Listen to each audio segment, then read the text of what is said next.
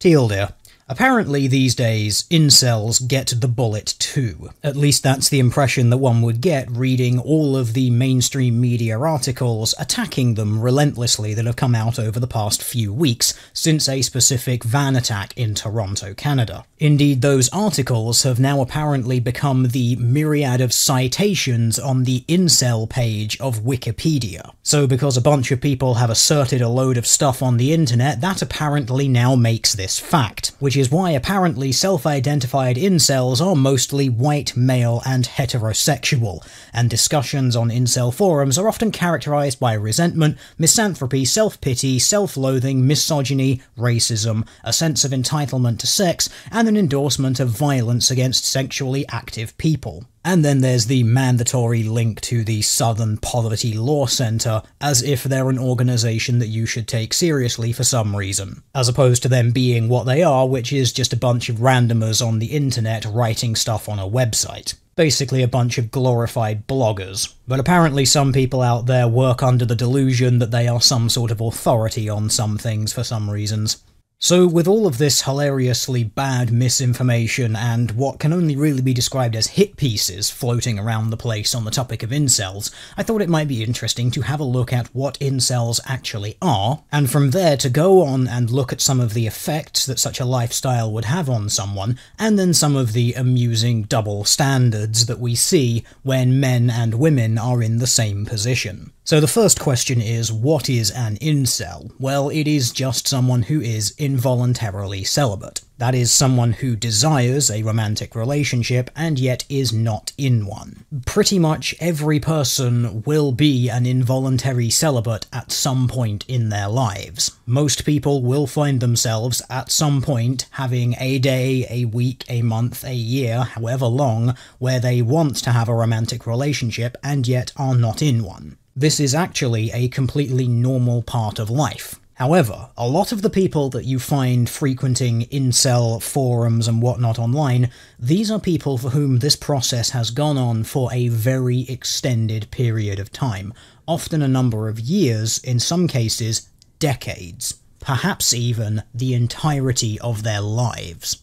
And this is why I can't understand the vitriol aimed at these people. These articles and Twitter folk and whatnot basically just declaring, well, it's all your fault. Everything that is wrong is wrong with you. You are just such a fundamentally unlikable, untouchable human. And all you need to do to fix this is to wash the Cheeto dust out of your beard, have a shower, get some decent clothes, hit the gym, and learn you some confidence. And then all of your problems will be solved as if that is just as easy as it is. This of course ignores the fact that a lot of people who are in the incel community will suffer from extreme forms of anxiety, extreme forms of depression, agoraphobia, and a good number of them will have mental or physical disabilities which prevent them from just doing all of that stuff. But I'm getting a little ahead of myself. Let's first look at what some of the effects of extreme social isolation are, because some of those effects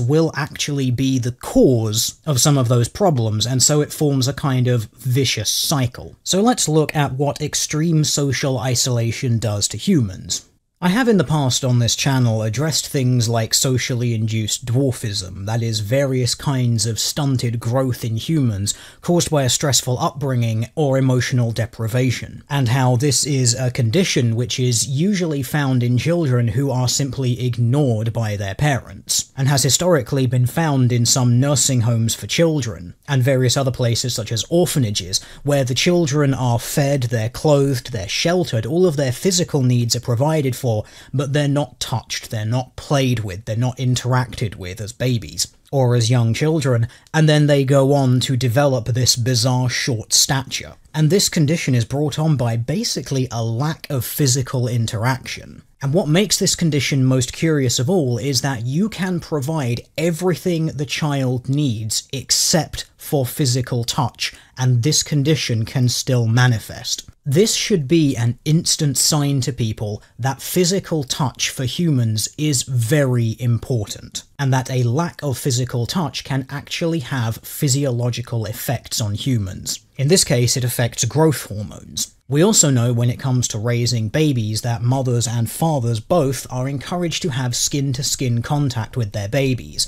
because this produces oxytocin in both participants, and this encourages positive bonding. The presence of oxytocin also acts as a stress reliever, lowering your heart rate and lowering your blood pressure, resulting in a generally less stressed feeling. And positive physical touch can also decrease the amount of a stress hormone known as cortisol. So, physical touch is an intrinsic part of being the social animal that is the human being. And given the fact that a lack of physical touch can stunt people's growth in the same way as poor nutrition, you could say that physical touch is as important for the survival of a human being as food and water. So with that in mind, let's look at some studies which look at social isolation in humans. So these will not be focusing purely on touch deprivation, but also just on social deprivation in general. So really quickly, before getting into those studies, I want to introduce you to two types of isolation, because it comes up in a few of these studies. One of those is subjective isolation, and the other is objective isolation. So, subjective isolation is a perceived shortage in one's social resources, such as companionship or social support, and objective isolation is a lack of contact with others due to situational factors such as your size of your social network, infrequent social interaction, a lack of participation in social activity, things like that. Objective isolation, as the name implies, is very much objectively measurable. You could put a stopwatch to the amount of time that someone is alone, or the amount of time that they're interacting with others. It is tangibly measurable. Subjective isolation is the perceived shortage of interaction. So that's things like even someone who, say, goes to a party and are talking to people, interacting with people, they may still feel very alone. They may still feel very isolated because they don't feel like they're interacting with people on a one to one level. They don't feel like the interactions are meaningful in any way. So in that instance, objectively you could say, well, they're interacting with people, so that's fine, but subjectively it's not fulfilling for them, so it's not really worth anything to them, so it might as well have just not happened. So let's start off with a pretty big meta-analysis study.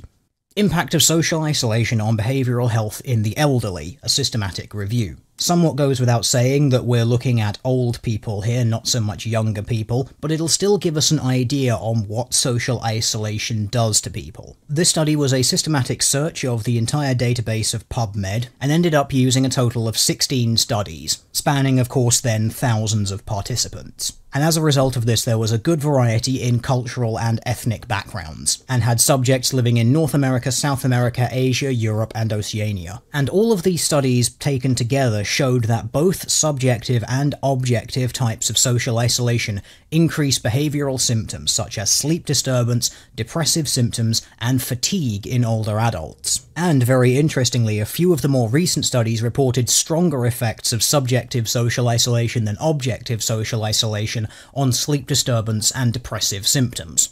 So that is when people feel like they're more alone, they're more likely to be depressed and to have disrupted sleep than people who are potentially objectively more alone. So you can see that the subjective experience, the individual perception of the patient is important in this. This study, Social Isolation, Depression and Psychological Distress Amongst Older Adults. This study is from February 2018, so something nice and recent compared to the meta-analysis we just looked at, which was published in 2015, so all of their studies are inevitably older than that. So this one is something which is nice and up to date. This one was again looking at older people, specifically 55 years and older, in America. Had 1,439 participants, and it measured objective social isolation and subjective social isolation and the impact that those things had on depressive symptoms using the Kessler 6 scale, which is just a scale for measuring psychological distress. Fortunately, in this study, the majority of the respondents were not socially isolated from family or friends,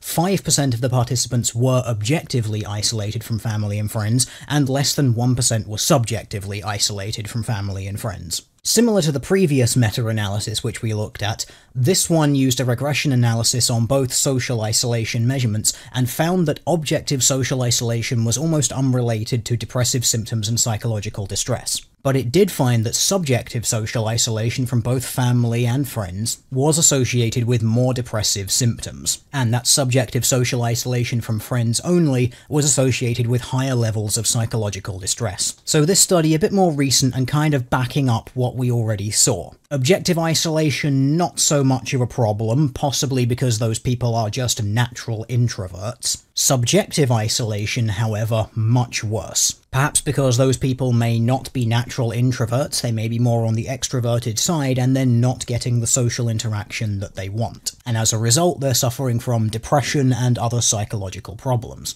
Final study looking at loneliness in the elderly is from China, loneliness and mortality among older adults in China. This one was done in about 14,000 participants over the age of 65. And this one was basically looking at the link between social isolation and the likelihood of dying. And this was done across a multiple year period from 2002, 2005, and 2008. And the results should perhaps surprise absolutely no one here, people who reported being more lonely were more likely to die. And this remained true even when controlling for other circumstances such as economic status. So social isolation predicts a number of things, and also seems to be the cause of quite a few of them, namely stress, depression, and in some cases death.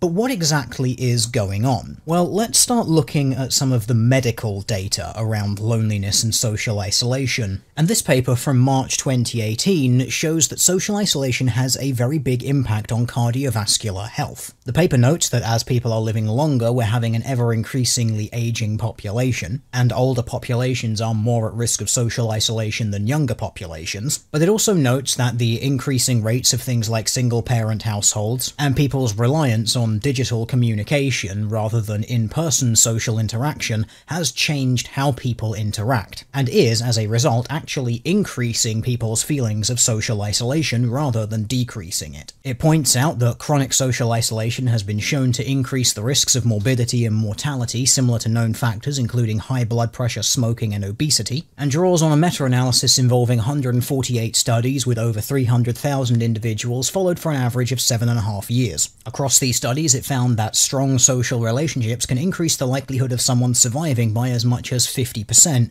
relative to individuals with weak social relationships. The study has found that social isolation and loneliness increases the risk of coronary heart disease by 29% and stroke by 32%. Lonely individuals were more at risk of hypertension and high blood pressure, as well as hardening of the arteries. While the exact mechanisms for this are poorly understood, it appears that an increase in loneliness and the resulting social stress is associated with an increased activation of the hypothalamic pituitary adrenocortical axis and the sympathetic nervous system. It also leads to glucocorticoid resistance resistance, unregulated pro-inflammatory gene expression, and oxidative stress. And this is all just a very fancy way of saying that you are in a constant state of very high stress. Heart rate is elevated, blood rate is elevated, your body ceases responding to certain hormones correctly, and you start suffering from more pain. All of that taken together would make a paper such as this one, Loneliness Predicts Pain, Depression and Fatigue, somewhat unsurprising. This study was looking at breast cancer survivors and found that people who were more socially isolated experienced more pain, more depression, and more fatigue than those people who were more socially connected. This study also looked at latent herpes virus reactivation, and found that more lonely participants had a higher cytomegalovirus antibody titers, which in turn were associated with the higher higher levels of pain, depression, and fatigue. Basically, the loneliness seemed to be linked to a dysregulation of the immune system or just a weakening of it, allowing for an increased rate of reactivation of a latent herpes virus. Going even further still, it would seem that chronic isolation actually alters how humans' genes express. This study, for instance, looked at certain genes that help to regulate various functions in the human body, and it found, quite similar to some of the earlier studies, an underexpression of genes bearing anti-inflammatory glucocorticoid response elements, and an overexpression in inflammatory responses. So again, this kind of highlights the impact on glucocorticoids, so things like cortisol, which is one of the hormones that we referenced earlier, which helps to regulate things like heart function, blood pressure, stress levels, immune system, and so on. So extended periods of extreme isolation on a very fundamental genetic level alters how your body functions. From a perspective of general pain and misery, it seems to go even further. There was a very interesting study here, and this one seems particularly related to incels. It was called Does Rejection Hurt? An fMRI study of social exclusion. The paper begins by noting that there are many words assigned to emotional distress that are also used for physical distress. So you would say you had hurt feelings or something like that. Or a particularly traumatic piece of news may be considered a punch to the gut or something along those lines. Uh, humans have this habit of assigning very visceral language to something which is quite abstract. Although it would appear that some of the neural machinery recruited in the experience of physical pain may also be involved in the experience of pain associated with social separation or with social rejection. This may be part of a general survival strategy for humans. In the past, social ostracization and being kicked out of the group could result in death, so having social rejection feel really unpleasant in a very tangible, visceral fashion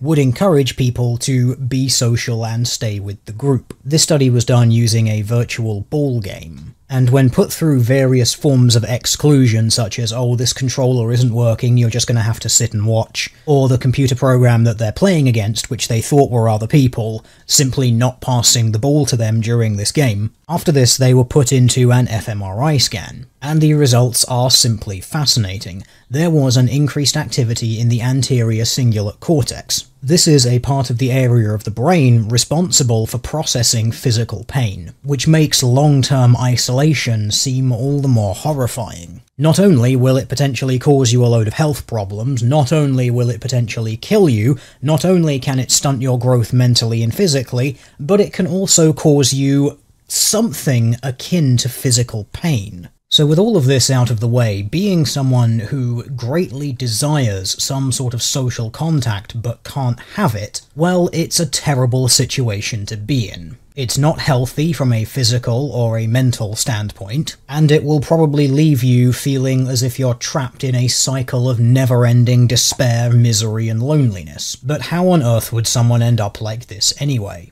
Well, if the actions of what women are doing are anything to go by, you may remember the OkCupid data which suggested that women find a staggering 80% of men to be less than average in attractiveness. Tinder fares very much the same way, where 78% of women are all fighting over the top 20% of men, leaving the bottom 80% of men to be fighting over the bottom 22% of women. The absolute runaway, unregulated nature of the sexual marketplace seems to be potentially part of the explanation. I can't help but think there is a reason why so many societies all around the world talk about things like monogamy, talk about and generally enforce institutions such as marriage. Why it's just something so very common that societies come up with structures that encourage people to pair off one to one, to encourage people to actually get together and have a family in two parent households, which have been objectively shown to be the best environment in which to raise children. And yet, in the modern era where we don't arrange marriages or even attempt to encourage such a thing, lest you be considered some sort of patriarchal oppressive shitlord trying to oppress T-womens, and so we leave people to do whatever the hell they want to do, which results in about 80% of men being deemed completely untouchable. Again, Tinder data bears this out, where out of 300 girls, 240 of them had had sex through Tinder, and out of 300 men, less than 50 did. Now, this is not a call to try to regulate the sexual marketplace or anything along those lines, merely the observation that when you leave people completely to their own devices with absolutely no input from families, elders, any sort of societal structure, or indeed if you have societal structures which actively encourage the opposite sort of behaviour, such as ridiculously one-sided parenting laws giving custody overwhelmingly to women, things such as the Me Too movement and the general rape hysteria which has left many men completely paralyzed when it comes to trying to interact with women, lest a single wrongly aimed glance get them labelled as a rapist for the rest of their lives, and then an entire benefits and welfare system aimed at propping up and supporting single mothers, basically the state making men in relationships completely redundant. And well, what a surprise, we find that there are large numbers of men out there who simply cannot find partners. Now, I know what some people might be thinking about some of the data that we've looked at. They may be sitting there and thinking, oh, but Teal, that's online dating. That doesn't mean anything. That's not the real world. Well, sorry, friendos, but according to a 2015 relationship study in Australia, 22% of those surveyed met their current partners online, that was second only to meeting people through a mutual friend, which was 24% of relationships. What people are doing online is actually very representative of what is happening in the real world. And if certain projections are to be believed, such as this from eHarmony, over 50% of couples will be meeting online by 2031. So what has the knock-on effect of all of this been to the women who are still in the dating game while a disproportionate number of men are now out of the dating game? Well, what a surprise that over the past few years we have seen increasing numbers of articles along the lines of these ones. Women in their 30s and 40s basically screaming to the high heavens, where have all the good men gone? Because they spent their teenage years and their 20s and possibly a good chunk of their 30s relentlessly only chasing the best of the best men, turning down any and all men that they just didn't think were good enough for them. And now that their youth and fertility is spent and no one really wants them anymore, they expect men to man up and pick up all of their mistakes, rather than doing what their ancestors would have done and simply looking for Mr. Good Enough, Mr is stable, has a job, is reliable, and I can live with him. Instead, they've been told that they can have it all. The big, massive, high-flying career, the husband who's a male model and a millionaire, and all while effortlessly juggling multiple children. Well, sorry to break the illusion, but that doesn't happen. And articles such as these are the proof that women are not happy with the situation that they have put themselves in. But of course, this is all the fault of men. They just need to man up and go and get those university degrees so that they can be good enough for those women. And even though they've been relentlessly turned down for a decade or longer of their life, they still need to be here right now just to fulfill that demand. And how very dare they simply look at the situation and say, you know what, I give up. I'm just going to have a shitty job that I can tolerate, which pays enough for me to eat, have somewhere to live, and other than that, I'm just going to sit around watching movies, playing video games, and going out for a drink every so often. It is the environment that we are in and the way people are behaving that has caused this problem. So what happens when women start complaining that they can't find a partner? Well, the very feminist World Health Organization will declare that you have a disability. But what a surprise, this standard will only apply to women, because it's based around failure to achieve pregnancy after 12 months or more of regular unprotected sex. Yes, the right to reproduce, which apparently includes the right to have someone to have sex with, is something that women have, but not men. When women are incels, that's a crime against humanity and we need to do something in order to fix it. When men are incels, well, let's just see what Twitter has to say.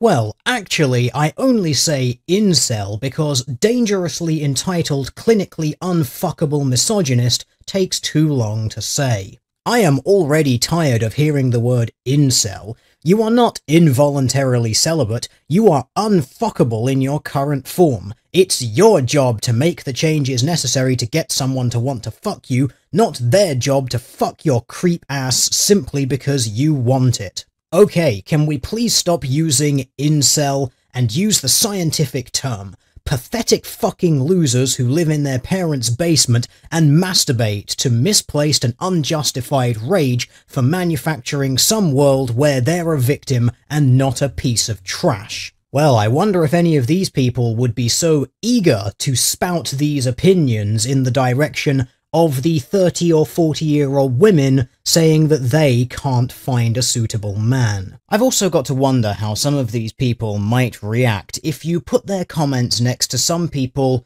who are almost certainly incels. Because as mentioned earlier, there's going to be quite a lot of people out there who are involuntarily celibate because they have some sort of physical or mental disability. And of course, owing to the general human pattern of mate selection known as hypergamy, in which women will generally favour dating men of equal to or greater social status than themselves, a man in a wheelchair, for example, will have a distinctly difficult time finding a partner. In fact, thinking back across the entirety of my life, so take this with a large enough grain of salt, I don't think that I have ever seen a disabled man with an able bodied woman, or a man with a severe facial disfigurement with a normal looking woman. And yet, I can think of several times where I've seen wheelchair bound women, women suffering with dwarfism, women with missing limbs, and things like that, who have boyfriends or husbands who are completely able bodied and generally normal guys. Now, of course, that isn't proof of anything, but I can't help but think that that might be a sign of something. The almost inherent difference in sexual marketplace value between having eggs or not.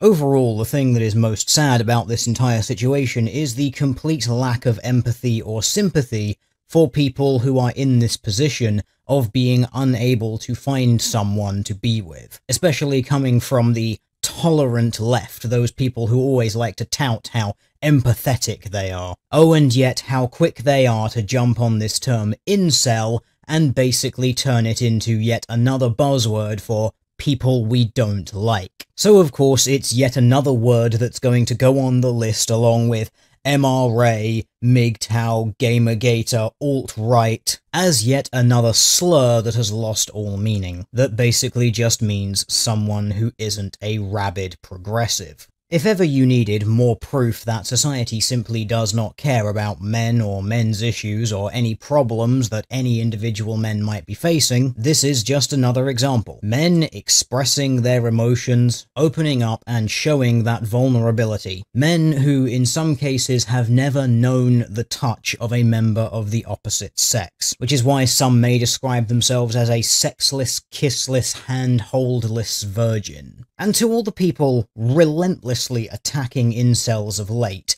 I would ask them, try to imagine that. After all we've looked at regarding the physiological effects of isolation, the psychological effects of isolation, try to put yourselves in that position. Try to put yourself in the position of having never even been touched. Despite your best efforts, possibly having been rejected hundreds, if not thousands, of times in your life. And this is something which I think a lot of people simply cannot relate to. And I find that it's something that especially women have a really hard time trying to understand, given how much society falls over itself to hand women anything that they want or need on a silver platter. And that as we've seen from Tinder and OkCupid data, women have a remarkably easier time than men when it comes to the sexual marketplace. When you have so much inherent value that you are the one being approached and propositioned,